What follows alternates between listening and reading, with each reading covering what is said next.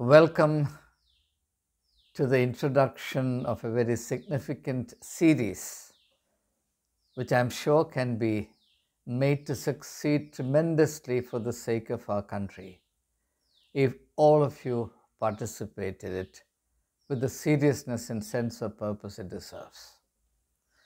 I am delighted, ladies and gentlemen, to announce a new series called Jan Ki Baat. Please note Jan Ki Baat. Matters concerning the people or what people have to say, what the people of India have to say. Why do I initiate this program? For the last several years, we have been having a series called Man Ki Baat. That is to say, what the Prime Minister has to say to the people of India. In principle, it is a laudable program. It's good for the Prime Minister to be in touch with the people. The people of this country respect their leaders, as indeed they must. They are keen to know what the leaders think about the affairs of the nation. They're also happy to receive wise counsel and guidance from those who have the ability to provide such guidelines or guidance, as indeed the Prime Minister, by virtue of his rich experiences and expertise, uh, is in a position to provide.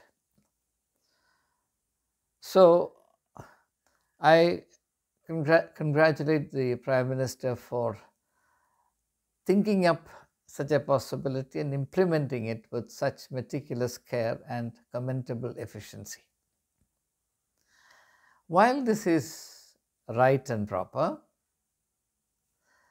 we still need to take note of a very serious lacuna, a serious deficiency, a huge gap that needs to be filled. All of us agree readily that democracy is predicated on dialogue, not monologue. Dialogue is the very essence of democracy. What is dialogue? Dialogue is an active and free flow of opinion and experience between two parties or two blocks.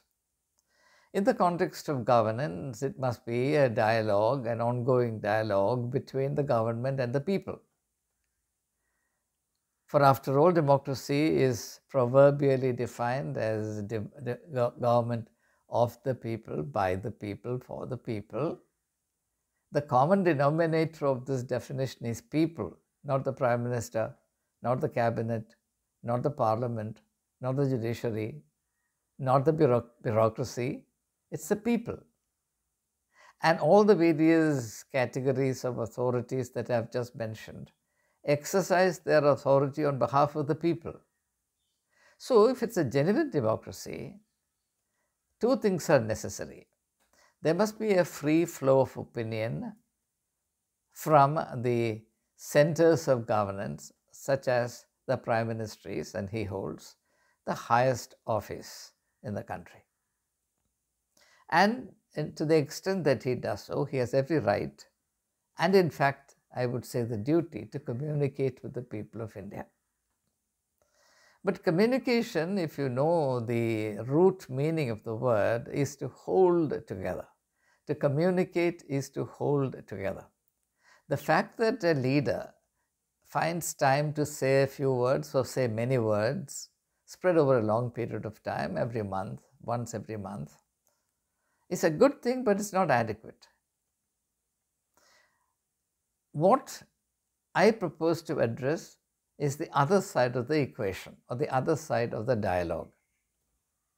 The Prime Minister characteristically has created a medium of communication which is heavily distinguished by a one directional flow. He is the founder and head of all wisdom, he is the source of all knowledge, and he is in a position to enlighten the people of India, about which I really don't have absolutely any problem as such. But my argument is that that doesn't complete the logic of a dialogue. You can't have a dialogue which is one sided, and one sided dialogue is called monologue.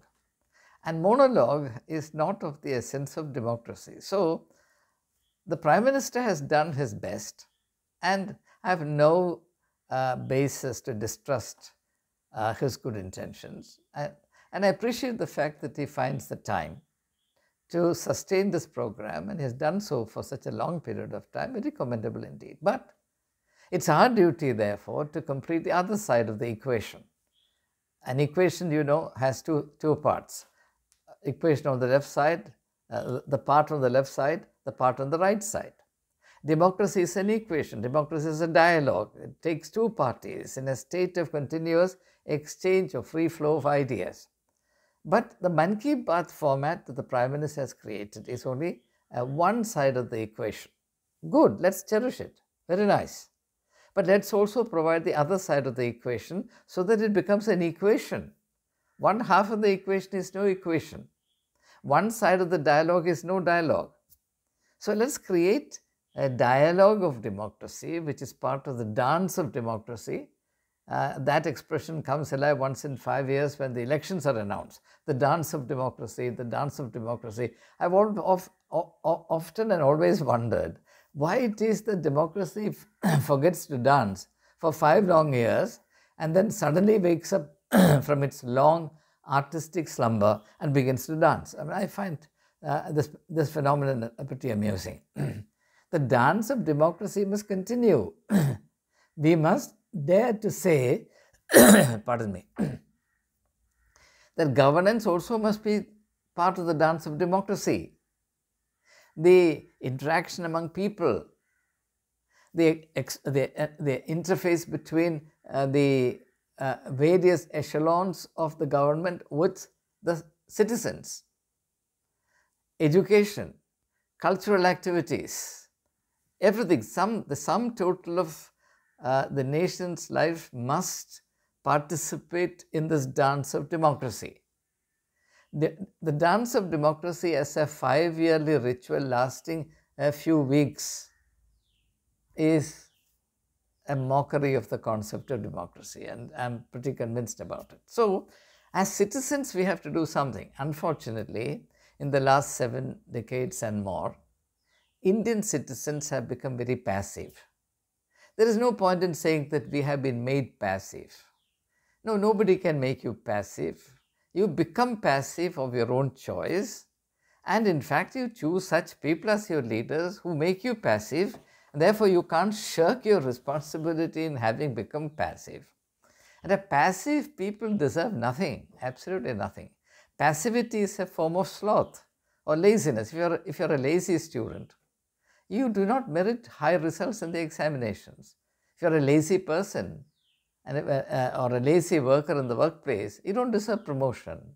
If you're lazy all through your life, you don't, you don't deserve any distinction.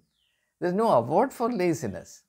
So, passivity is a form of laziness. And laziness is good only to fritter away the possibilities, the brilliant, beautiful, exciting possibilities in our life. Therefore, I have said this much so far only to bring to the logic of what we propose to do the, from today onwards, we initiate a program called Jan Ki Baat. We have only a very limited medium, which is the small YouTube channel, if you like, but we can turn it into a meaningful experience.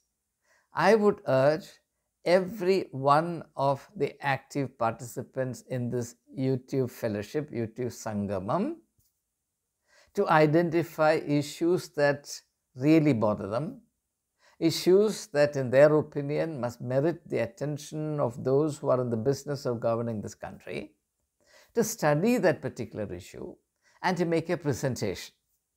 You can do that in the form of a 12, 15, 20 minutes video and send it to me in any form, in any way you can. And I'll be very happy to upload it onto this channel with such introductions to the particular video as I might think is necessary. Uh, often the, uh, no introduction may be necessary, but in case I think that a little bit of introduction is required. I'm happy to provide that.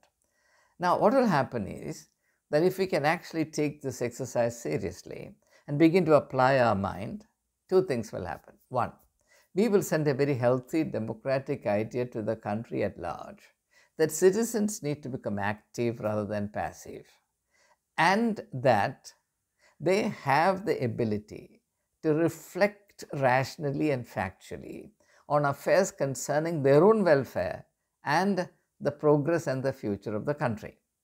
That way, every citizen becomes a responsible citizen who is keen and happy to participate in this wonderful dynamic of developing a healthy democracy and a healthy, prosperous nation. So that's the first part.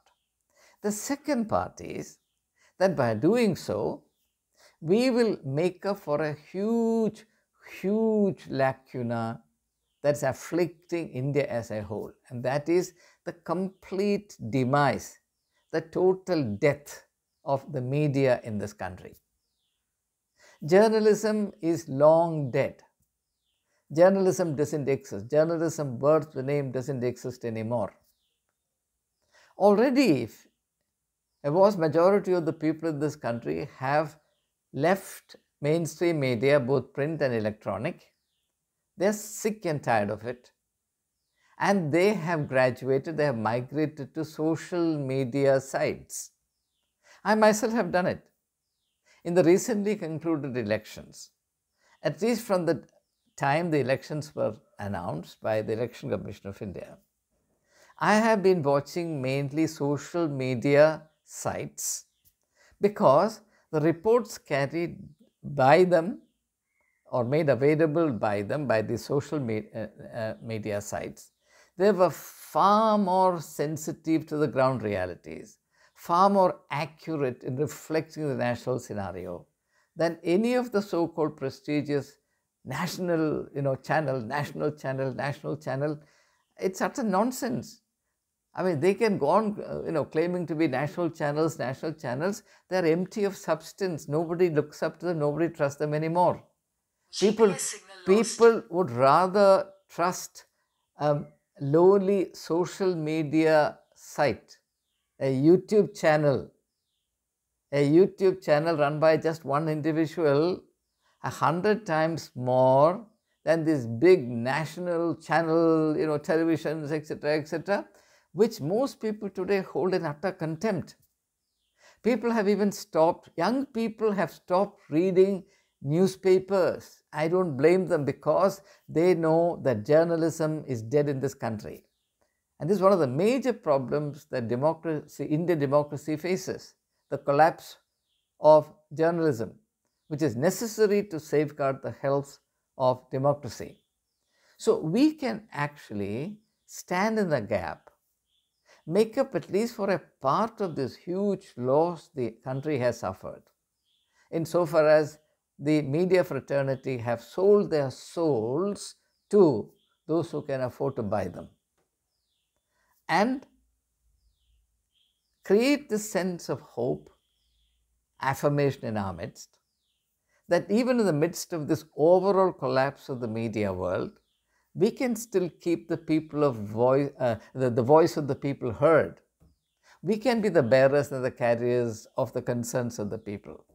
We can keep these issues alive. And as of today, the social media is far more powerful and influential than the so-called, you know, investment-heavy mainstream media.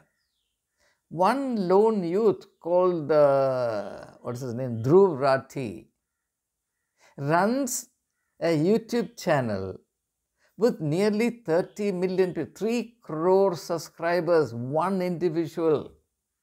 And the impact he has on the people of India is 10 times greater than the impact of Republic Channel, Network 18, uh, what's that, India Today, and NDTV put together. That's the power of social media. Ravish Kumar, who used to work with India Today in the, in the Hindi section, runs his channel and he has nearly nearly to 20 million, I think 1.7 or 1.8 million uh, uh, subscribers. Uh, no, uh, uh, sorry, 1.8 uh, crores, eight, 18 million subscribers. Now, think of the think of the influence he has. Think of the impact, and his reports are 10 times, 100 times superior factually to anything that you would get from any of the so-called prestigious national channel, national channel uh, uh, hodgepodge. So, the this age of social media gives to us the citizens the power, the empowerment to do our work. When traditional journalism collapses or has become, in the, in the words of uh, General V.K. Singh, prostitutes, uh, journalists become prostitutes, citizens can become journalists, responsible, competent journalists. And let's do that.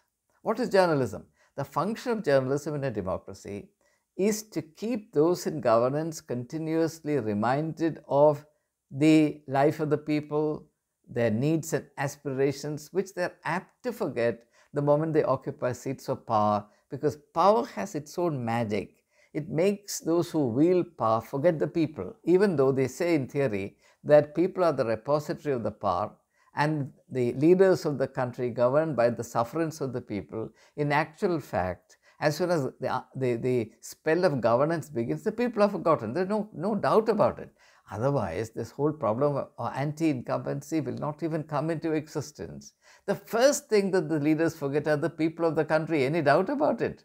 Of course, they keep, uh, you know, the people of India misguided regarding what they do, and hence they invest very heavily on propaganda. All of this is known to you, and I don't have to explain. Therefore, let's take this opportunity seriously. Let's develop this program, Jan Ki Baat. The people have this to say, Jan Ki Baat. Matters of the people, what the people have to say. And this can succeed only if every member of this YouTube Sangamam takes this responsibility seriously and believes in his or her ability to make a contribution that can make a difference. Let's not underestimate ourselves. After all, if you look at the way the camp followers and the uh, cyber uh, shields of the Sangh Parivar BJP combined have become active against me and the kind of intemperate words with which they damn my work. What does it prove? It proves that my work is effective. And that's a good thing. They think that, you know, what the, the, the, the, the attacks that they launch on me would uh, dampen my spirit. It's the other way around. I see it as the illustration, the, the, the, the convincing illustration that my work is relevant and it is going home. It is touching raw nerves now and then, and I'm glad if it, uh, it, it is so. And that certain streams of thought, certain concerns, certain issues, certain realities, which are apt to be forgotten or poorly or understood or, ill understood, can be dealt by us. And the kind of discussions that we continue, uh, carry on has a spillover and it, it's affecting the general society one way or another. And as all of you know, I take your responses very seriously. There is not a single response from any one of you that I don't read. I read every one of them, and I'm the better off for doing so. That's why I'm saying that I hold all of you and the potential that you hold in great respect. And I'm absolutely convinced that if your concerns can be articulated and made part of the national consciousness, it can do enormous good to the country and it can certainly compensate for this huge lacuna at the present time that the whole national debate has become a monologue. Only the Prime Minister has something to say, the rest of the country is obliged to sit and listen. And this breeds a very unhealthy psychology. And to a large extent, this unhealthy psychology is responsible for reinforcing this culture of intolerance by which dissent is sought to be crushed which augurs very ill for the health of Indian democracy. So, if we can take our work seriously, if we can, if we can believe in our ability to make a contribution, we can serve as a healing influence vis-a-vis the plight of democracy in India. That's the reason why, with great excitement, with great hope and eagerness, I announced this series. Please remember the title of the series, Jan Ki Baat. Who will contribute? Who will serve as the, uh, the journalists in this program, each one of you, including me. I will also walk side by side with you and we'll keep our eyes and ears open on the affairs of the country and anything that we consider to be important and worthy of public notice will be identified and we'll develop our thoughts and we'll put them put them up for public consideration and please notice the very encouraging thing now is that the viewership of this YouTube Sangamam now far exceeds its actual membership. The subscribing members, the free subscription, I'm talking about free subscription. Our subscription is to the tune of about 13,000. But some of the videos are seen by 100,000 people, 120,000 people, which means that our viewership far exceeds our membership. That is a very positive thing. It means that the general public has now begun to take the contents, the substance of this YouTube Sangamam very seriously. They have expectations of the dialogue that's in progress between you and, you and me and among ourselves, which I believe is of a different class as compared to most of the social media network sites. And I don't say, say this just to pat ourselves on the back, I'm simply stating a fact you are certainly in touch with other YouTube channels and therefore you're in a position to compare and contrast the contents of our channel, our Sangamam with other channels and therefore you will see that I am not exaggerating the case. Anyway, so once again announcing this new series Jan Ki Baats. Let's try and make it once a week. The Prime Minister has time only for once a month program. That's good. And I once again say I appreciate the fact that he finds the time to keep in touch with the people of India, though in a very, very limited and highly choreographed manner, uh, so that his dignity and his uh, uh, inviolability as a leader is not uh, in any way allowed to be uh, disturbed. Uh, the whole thing is heavily controlled. No one can ask a question to the Prime Minister in a spontaneous manner everything is decided in advance as to which question will be asked and who will ask the question and also in which manner, in which tone the question will be asked. Every question has to be asked in an attitude of reverence and respect. And that's the right thing. I have absolutely no problem with it because boorishness does far greater harm to a country than an attitude of veneration. In fact, I would suggest that all Indians develop a sense of veneration not towards this political leader or that political leader, uh, Modi or Rahul Gandhi. Let us respect, let us, let us venerate life. And when we venerate life, when we respect life, we take each one of us seriously because each one of us is a manifestation of life. Life, I believe, is divine. And that divinity is something that the Indian culture from early times, perhaps uh, before most other cultures, learn to recognize and respect. That's why we do namaste to each other. The meaning of namaste is I recognize and respect the divine element in you. But these things now exist as vague memories.